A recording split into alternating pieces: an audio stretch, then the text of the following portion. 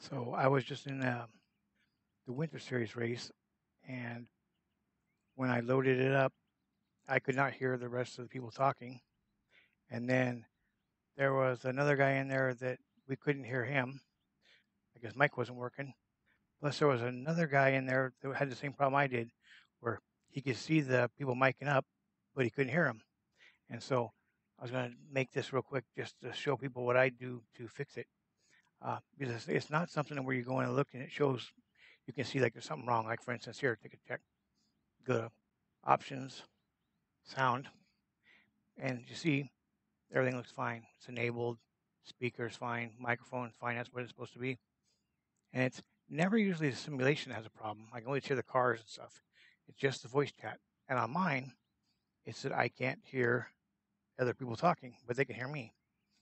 And so what I do to fix it is I will put this on none, put this on none, enable it, hit the done button, go back in, sound, re-enable it, and then reselect my speakers for the output or playback, my microphone for the mic, and then hit done.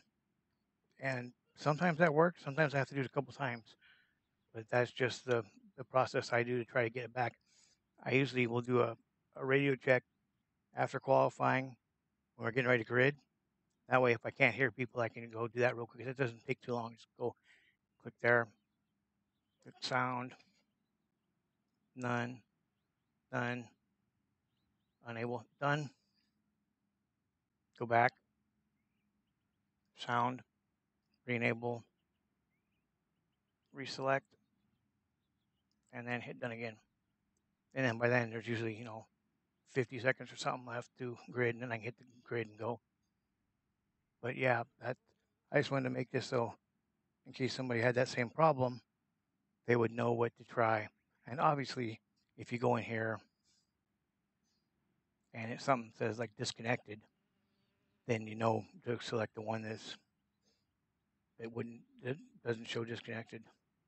But if it looks like everything's fine, like mine always does, then that's just the uh, process I go through, and almost most always I can get it to come back before the race starts. There's been a couple times where I've done it a couple times and get in there and there's not enough time left, and I just have to go without we don't hear anybody. But anyways, hopefully this helps some people that are having problems.